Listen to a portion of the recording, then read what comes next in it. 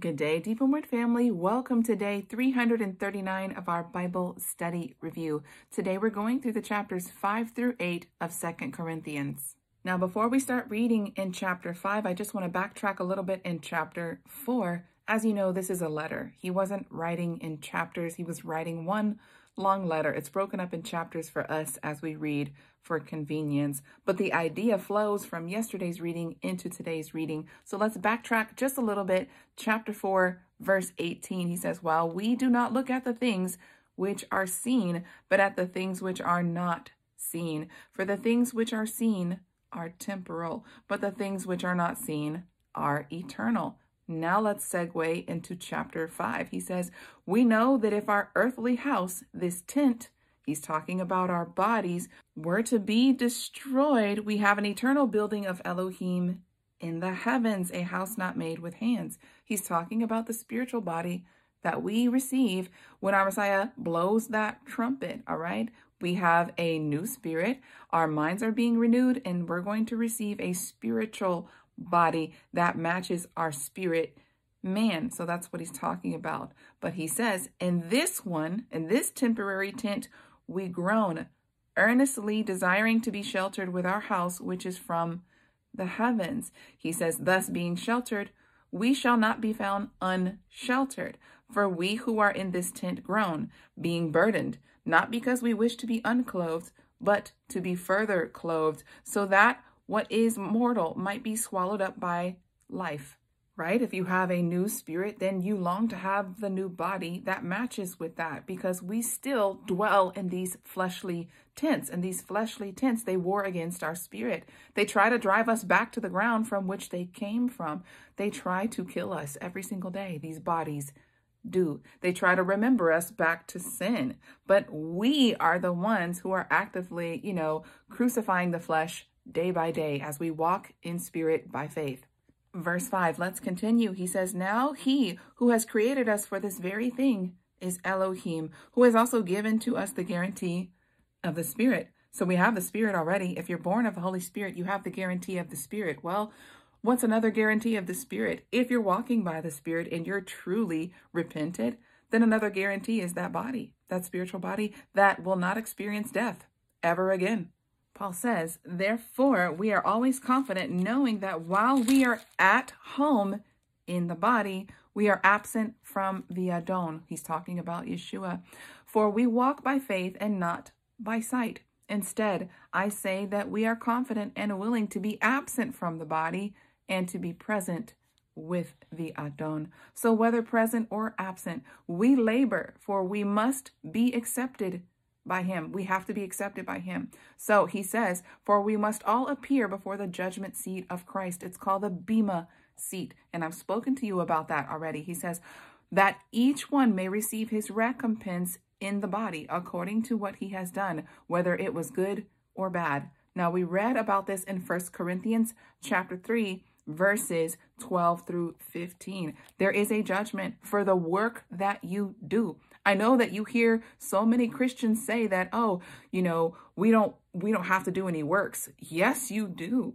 You have to work. You have to live from the spirit while this fleshly body fights you to do what the spirit is calling you to do. There is a work and he is going to judge our work. So he says, right? When he comes, he's going to pay us for that work. Now, if your work was still of the flesh while you're proclaiming Christ, your Payment is going to be death and death eternal. Many will hear, Depart from me, I don't know you, you workers of iniquity, you workers of lawlessness, aka Torah-lessness. And the heart of Torah is love. It's how you love Elohim with all your heart, your soul, your strength, and how you love people as unto yourself.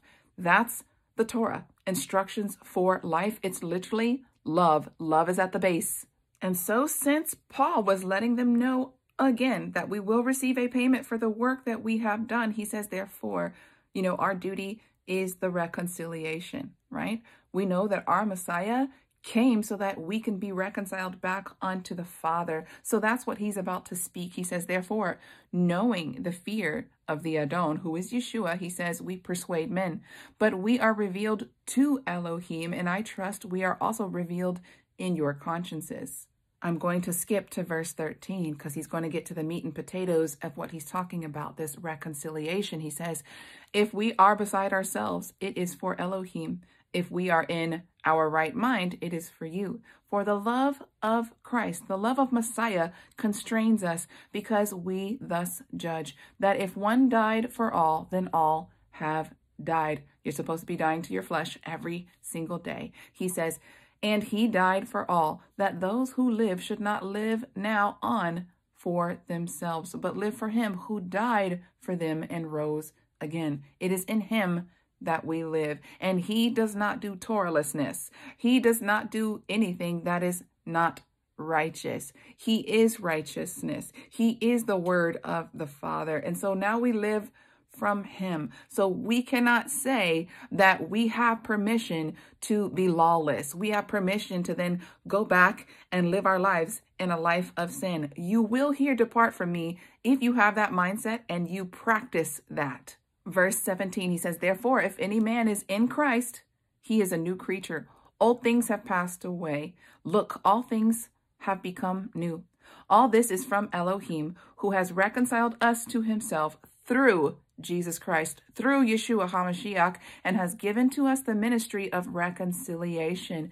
That is, that Elohim was in Christ, reconciling the world to himself, not counting their sins against them, and has entrusted to us the message of reconciliation. So that's our job, y'all. It's to help to reconcile the other image bearers back unto the Father. And you can only do that by way of the Son. And you can only do that by way of the Spirit, right? The Son is the one who gives the Spirit. Now you must live from the Spirit, right? You must be counted worthy because if you appear before Him and you haven't lived from the Spirit, you still lived all of your life from the flesh, you will not inherit the kingdom. That's fact. All right? We need to understand that. If we don't get anything else, we need to understand that. He says, So we are ambassadors for Christ, as though Elohim were pleading through us. I hope you understand what ambassadors are. We have U.S. embassies all across the earth, right? In different countries representing this country. And that's who we are in this world. The world system is ran by Satan. We are born of the kingdom of light, although we are walking in the midst of the kingdom of darkness, right? So we are to represent his kingdom, his righteousness, his Torah, right? With our lives, with everything that we do. Now, if we're not proper ambassadors, again, we are going to be in trouble when we come before him at the judgment seat. All right. He says, We implore you in Christ's stead, be reconciled to Elohim. Elohim made him who knew no sin to be sin for us, that we might become the righteousness of Elohim in him. He was perfect. He laid his life down as though he sinned, but he had no sin in his body. He gave his perfection to cover our imperfection. May we never take that for granted. All right, chapter 6. Paul says, As workers together with Elohim, we ask you not to receive the grace of Elohim in vain. We just spoke about that, right? Do not receive the blood of the Messiah and then trample, trample that blood as if it's a permission slip to continue sinning. That is not what the gospel message is, okay? He says, For he says, in an acceptable time, I have listened to you, and in the day of salvation, I have helped you. And Paul says, Look now is the acceptable time. Look now is the day of salvation. We give no offense in anything that our service may not be blamed. But in all things we commend ourselves as servants to Elohim in much patience, in afflictions, in necessities, in distress, in stripes, and imprisonments, and tumults, and labors, and sleeplessness, and in hunger, by purity, by knowledge, by patience, by kindness, by the Holy Spirit, by genuine love. Do you see that? They suffer many things, but they do it by the Spirit. They're able to endure because they live from the Spirit. That's what grace is. It's the power to be able to withstand when everyone else is coming against you. The whole world, the kingdom of darkness is coming against you, yet you stand. Yet you are able to withstand the blows and the afflictions of the world because you have the power of Elohim dwelling on the inside of you. Skipping down to verse 14, he says, Do not be unequally yoked together with unbelievers. For what fellowship has righteousness with unrighteousness? What communion or common union has light with darkness? What agreement has Christ with Belial? Or what part has he who believes with an unbeliever? What agreement has the temple of Elohim with idols? For you are the temple of the living Elohim. As Yahuwah has said, I will live in them and walk in them. I will be their God, and they shall be my people. Now, he said that in Jeremiah chapter 31, the new covenant, right? New Testament. And he says, Therefore, come out from among them and be separate, says Yahweh.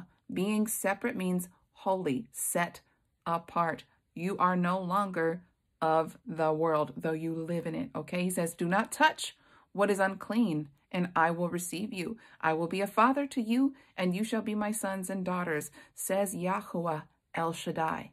So the essence of this chapter is repent.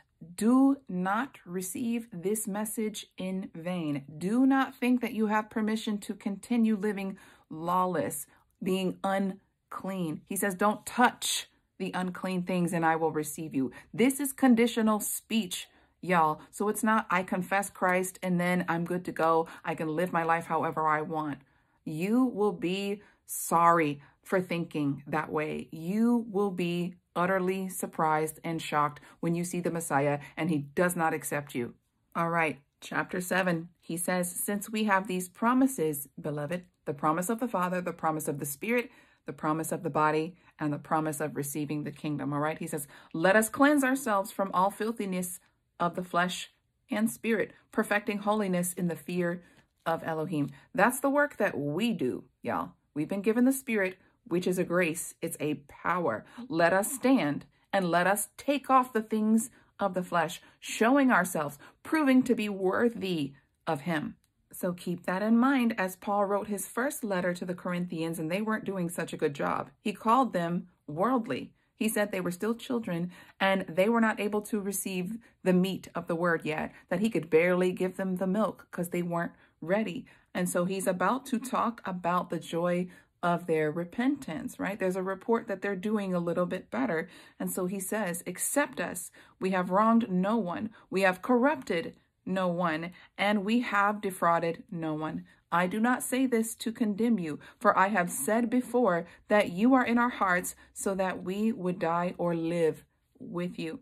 Great is my boldness of speech towards you. Great is my boasting of you. I am filled with comfort, and I am exceedingly joyful in all of our tribulation. For when we came to Macedonia, our bodies had no rest, and we were troubled on every side. On the outside were conflicts, and on the inside were fears. But Paul says, Nevertheless, Elohim, who comforts the downcast, comforted us through the coming of Titus, and not only by his coming, but also by the comfort with which he has comforted in you when he told us about your sincere desire, your mourning, and your zeal towards me, so that I rejoiced even more.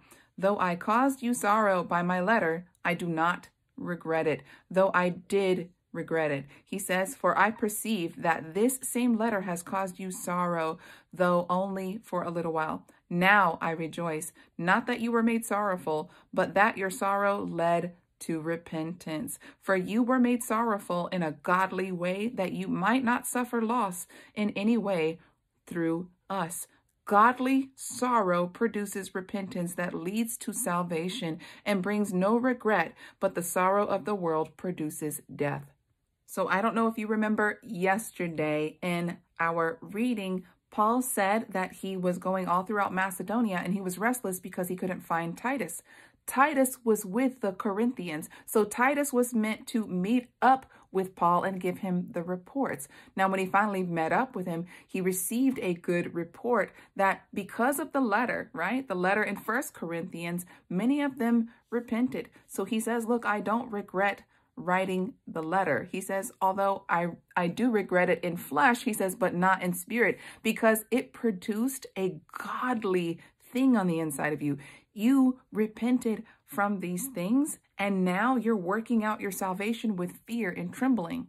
So now I'm going to pick up in the middle of verse 13. He says, Yes, and we were exceedingly the more joyful for the sake of Titus, because his spirit was refreshed by you all. Titus went, right? And he knows that they had read the letter and they were sorrowful and he saw how they were changing because of it. They repented. And so he says, So I am not ashamed if I have boasted of anything to him regarding you. But as we spoke all things to you in truth, even our boasting in the presence of Titus is found to be true.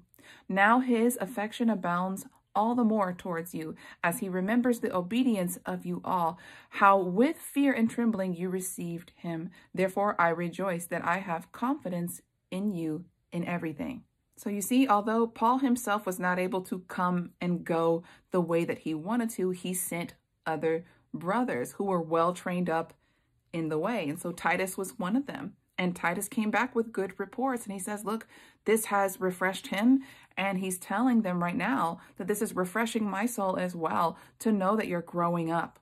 And as we walk into chapter 8, we're going to see that he wants to encourage them to grow up a little bit more in one area of their life. He says, Moreover, brothers, we want you to experience the grace of Elohim bestowed on the churches or the assemblies of Macedonia. Y'all know there's only one church, so he's saying the assemblies, the pieces of the body in different places, especially in Macedonia. He's going to tell you why. How in great trial of affliction, the abundance of their joy and their deep poverty overflowed toward the riches of their generous giving. That's it. He wants them to be liberal in their giving. He wants the body of Messiah in Corinth to look at the Macedonians, the body of Messiah in Macedonia, as the blueprint for giving abundantly. So let's pick up in verse 3. He says, For I bear record that according to their means and beyond their means, they freely gave, begging us with much urgency that we would receive the gift and the fellowship of ministering to the saints. This they did, not as we expected. First, they gave themselves to the Adon, Yeshua, and then to us by the will of Elohim. So we urged Titus that as he had begun, so he would also complete this gracious deed for you. But as you abound in everything, in faith, in utterance, in knowledge, and in all diligence, in your love to us, see that you abound in this grace also. Do you see that he calls giving a grace? Because grace is a power. It's a favor to do something that maybe you normally could not do or would not do in your flesh. It causes you to be selfless. It causes you to love others as yourself. Do you see it? Paul continues and he says right here in verse 8, I say this not as a command, but to prove through the authenticity of others the sincerity also of your love. He says, look, giving is a part of showing and proving that you're actually genuine in your love towards the brethren. He says, For you know the grace of our Lord Jesus Christ, Yeshua HaMashiach, that though he was rich, yet for your sakes he became poor, that through his poverty you might be rich. And in this matter I give my advice. It is appropriate for you who began last year not only to give, but also to willingly give. This is the context. It's giving and giving from your resources. All right. He says, now, therefore, complete the task so that as there was a willingness to do so, there may be also a performance of it according to your means. For if there is a willing mind first, the gift is accepted according to what a man possesses and not according to what he does not possess. I do not mean that other men have relief and you be burdened, but for equality, that your abundance now at this time may supply their need, and their abundance may supply your need, that there may be equality. As it is written, he who gathered much had no access, and he who gathered little had no lack. See, this is the model for the Acts church, the body of Messiah, when Pentecost, right? When the Holy Spirit fell, they gathered and they sold all of their belongings and they made sure that everyone had exactly what they need. No one had an abundance while somebody else had a lack. That's not how the body of Messiah is supposed to operate. No one is supposed to go without. When we come together, let us bring everything that we have, right? Remember that our Messiah charged the rich young ruler. And the rich young ruler said, I have done the Torah. I have done all these things. And Christ said, Yet you have done one thing not. He says, Sell all of your possessions and follow me. But he was not willing. Why? because his riches were a comfort unto him. And so Paul is challenging them now. Though in the beginning in First Corinthians, he says, I didn't want to burden you in the beginning. But he says, now that you're growing up, you need to understand that giving is a part of this thing right here. So he's essentially saying, look at what they're doing in Macedonia. What would cause someone to give to this measure? It is love. It's a change of heart. It's selflessness, not selfishness. All right. And so I'm going to go down to verse 23, and he says, If anyone inquires about Titus, he is my partner and fellow helper concerning you. Or if the other brothers are inquired about, they are the messengers of the assemblies and the glory of Christ. Therefore, show to them and before the assemblies the proof of your love and of our boasting on your behalf. And that proof is giving. Look, it costs money for him to send brothers to go check on them, to minister unto them, right? Ministry ain't free. It's not. It costs money to do these things. And so he's saying, look, prove yourself in this one thing by taking care of those who take care of your needs. Now, if you have it, you have it. But if you don't, you don't. But he's saying, if you have it, then why would you hold it back from someone who's pouring into you? Well, that's how this thing ends today, Deep in Word family. That's all that I have for you. Until tomorrow, Yah bless.